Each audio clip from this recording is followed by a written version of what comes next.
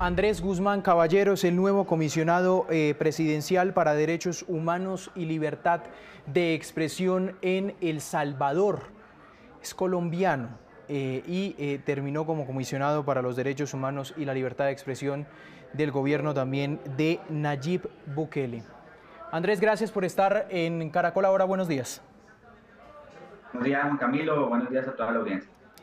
Andrés, ¿cómo termina un colombiano siendo comisionado para los derechos humanos y la libertad de expresión del gobierno de Nayib Bukele en Salvador?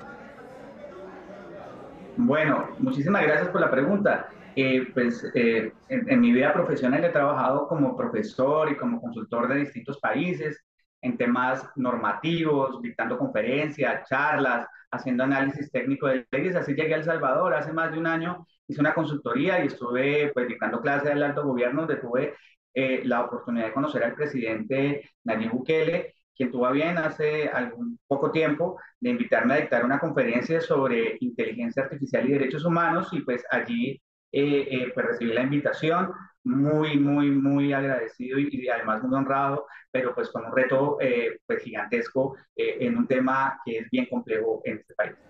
Eh, los leemos ya en Facebook, estamos empezando a leer sus comentarios en nuestras redes sociales, estamos en TikTok también, estamos en YouTube para que nos comenten sobre el tema del día. Andrés, em, usted eh, tenía un laboratorio de ciberseguridad acá, ¿cierto? Sí, hace algún tiempo. Eh, Andrés, eh, ¿cómo, digamos, eh, termina eso compaginando, pero también usted también trabajó después en la Defensoría del Pueblo, ¿no?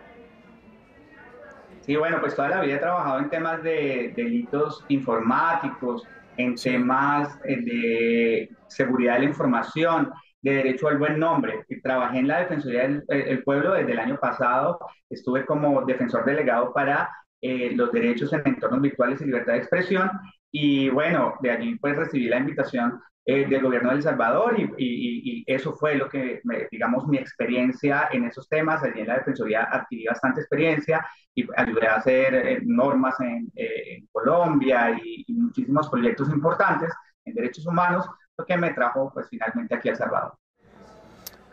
usted, Andrés, más temprano en la radio manifestó que en El Salvador hay un régimen de excepción sustentado. ¿Por qué?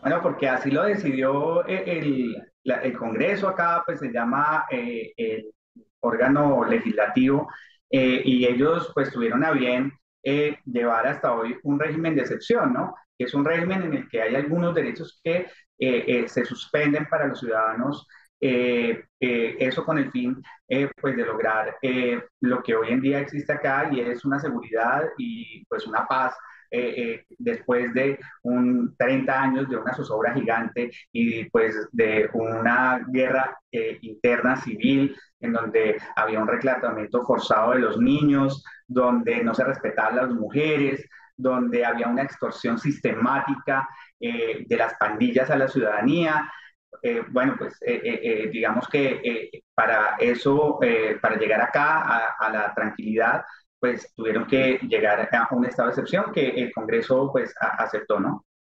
Sí, usted como comisionado para los derechos humanos, es que si algo ha llamado la atención es su cargo, Andrés, como comisionado para los derechos humanos y libertad de expresión en ese país, por las denuncias que han llegado de medios independientes, en especial en el tema de las cárceles. ¿Cuál es su posición en este momento? Bueno, la idea es ser un oído gigante y abierto para que cualquier persona o cualquier eh, eh, entidad que crea que han sido vulnerados los derechos humanos venga y hable con nosotros la, la, política del presidente Bukele es abrir la puerta y los oídos a cada situación y darle, por intermedio de esta comisión, eh, tránsito a todas las solicitudes y ver desde la más pequeña hasta la más grande. Todos los salvadoreños tienen derecho eh, a la paz, a la libre locomoción, a la tranquilidad, a, vivir bien. Eh, y ese es un objetivo fundamental. Y los derechos, pues, son absolutos. Entonces, quienes están privados de la libertad también tienen derechos y también estaremos muy atentos a ellos, pues yo llevo un día en el cargo, pero pues la idea es que la comisión lo vea. Eh, Andrés, pero digamos el tema de, los, eh, de las denuncias de personas que dicen que por el simple hecho de que estén tatuados los eh, estigmatizan de pandilleros e inclusive hay denuncias de medios independientes que terminan en la cárcel gente que no tiene nada que ver con las pandillas. ¿Usted está dispuesto también a investigar esos casos? La verdad es que eh, aquí existe Procuraduría, Fiscalía y pues la idea no es que el gobierno asuma los roles de la justicia. Cada uno tiene su rol independiente y evidentemente el tema es analizar cada caso, ser un link de conexión entre las entidades de gobierno y entre las eh, eh, entidades que garantizan los derechos humanos para lograr que no haya ningún caso de violación de derechos humanos y en los que existan las violaciones tomar las medidas inmediatas necesarias para que esto no siga adelante. Si hay una persona que fue detenida de forma ilegal o una persona que no tiene nada que ver eh, con las pandillas y está detenida, pues veremos su caso. Eh, la idea es analizar absolutamente todo, eh, que no es algo nuevo, siempre se ha venido haciendo, pero el gobierno quiere colocar especial atención en esto y pues para eso me designó eh, eh, como eh, quien es el comisionado hoy en día en Derechos Humanos y Libertades Personales. Usted dijo en Mañanas Blue, comisionado, que El Salvador necesita medidas urgentes de derechos humanos para seguir con las políticas. ¿Cuáles son esas medidas? Bueno, pues la verdad es que esas medidas deben salir eh, de un análisis eh, de realidad de contexto. Entonces nos toca pues llegar a hacer una investigación, hacer un análisis de lo que está sucediendo, de las denuncias que existen de violaciones de derechos humanos, ver lo que existe igual en la Comisión Interamericana de Derechos Humanos, en todas las entidades para poder tomar decisiones y poder hacer de forma urgente y tomar medidas para, en los casos que haya algún tipo de violación de derechos humanos, que cesen, ¿no? Por parte de cualquier tipo de autoridad que dependa eh, eh, en particular del Ejecutivo.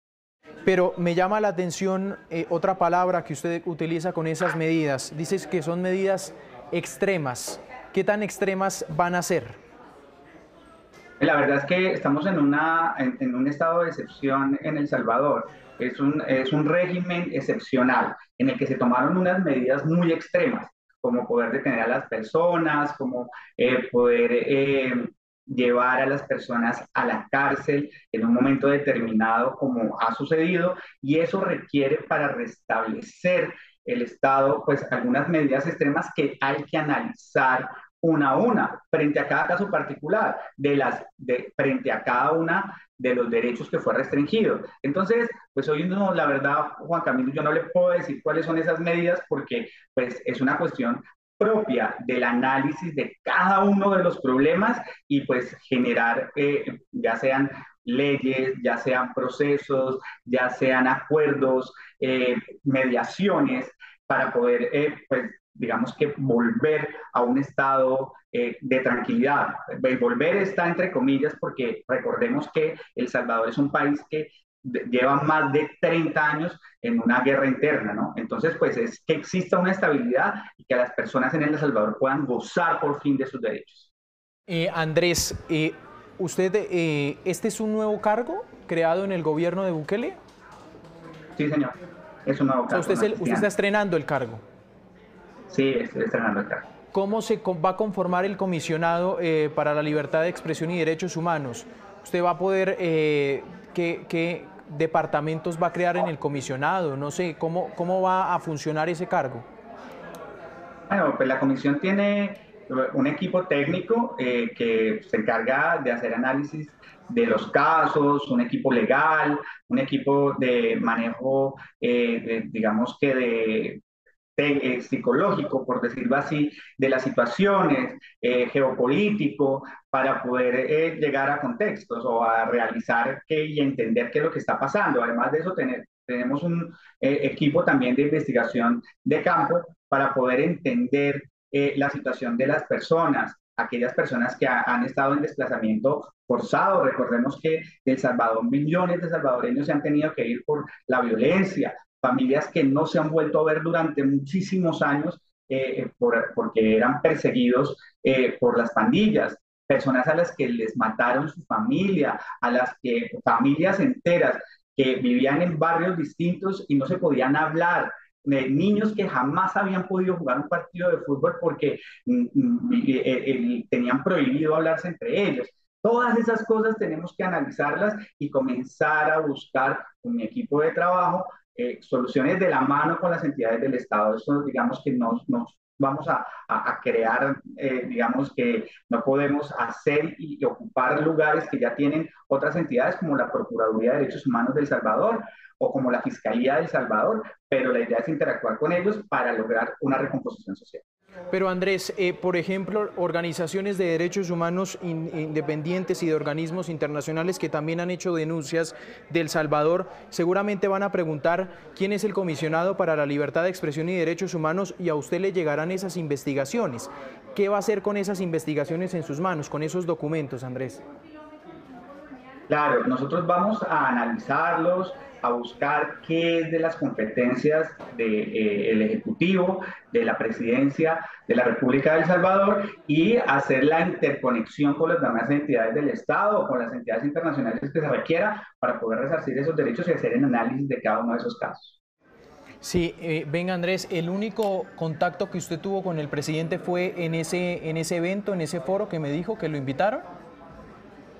No, lo que le digo, yo hace más de, hace un año vine aquí varias veces a El Salvador y tuve la oportunidad de hablar con él mm, de muchísimas cosas y pues la última vez ya hablamos de esto, pero pues he tenido contacto directo con el gobierno de El Salvador ya en varias ocasiones. ¿Qué le ha dicho él? ¿El que le ha encargado al momento de que le dio la noticia que usted va a ser el nuevo comisionado? ¿El que le dijo? ¿Cómo le presentó el cargo? ¿Cuál es la idea del cargo? Pues en resumen es lo que le digo y pues digamos que está en un decreto de nombramiento que es de público conocimiento eh, en el que el encargo es eh, pues ser eh, la mano del gobierno nacional en, en, cuestiones de derechos humanos y libertad de expresión y, y trabajar porque esas garantías sean reales. Oiga Andrés, venga, siendo ya para, para cerrar, siendo sinceros, ¿usted se imaginó nosotros, yo, usted sabe que yo lo consultaba para, para, para, el tema de ciberseguridad aquí, aquí en Colombia. Ese Andrés Guzmán que hablaba también en un laboratorio muy bien formado y muy reconocido aquí en laboratorio de ciberseguridad, se imaginó llegar a ser comisionado para los derechos humanos en un país pues eh, con tanta coyuntura como lo es El Salvador y con tanta noticia a nivel mundial, precisamente en ese tema? Bueno, pues hace bastante tiempo comencé a trabajar en la Defensoría del Pueblo en el tema de los derechos humanos. Dejé atrás todo lo que era forense y ciberseguridad y me dediqué de corazón, de lleno, a, trabajar por los demás. Eh, estuve aprendiendo, analizando y entendiendo. Además, eh, eh, yo creo que ah, las personas debemos reinventarnos todos los días y hacer las cosas que de corazón amamos. Y yo creo que es más que un trabajo, es un deber humano venir a, un país y poder poner un granito de arena. Eh, hay gente aquí que ha sufrido muchísimo, hay familias completas, hay desplazamientos, hay niños. Yo creo que eh, es un país con tantas necesidades y yo puedo ayudar en algo, voy a colocar todo, voy a hacer lo imposible por ayudar en este país y por dar la mano para que El Salvador salga adelante, para que puedan vivir en paz. Y, y digamos que creo que eh, es una obligación grandísima, eh, un honor gigante, pero la responsabilidad es inmensa, Juan Carlos. Es Andrés Guzmán, el nuevo comisionado para los derechos humanos y libertad de expresión en El Salvador colombiano que hoy pues también está ocupando las tapas de todos los diarios aquí en Colombia y por supuesto en ese país. Andrés, mucha suerte en ese cargo, de verdad que le deseamos muchos éxitos y sobre todo, como dice usted, resultados en todas las investigaciones que hoy también tiene pues El Salvador en este tema de derechos humanos y libertad de expresión. Gracias Juan Camilo, un saludo muy especial.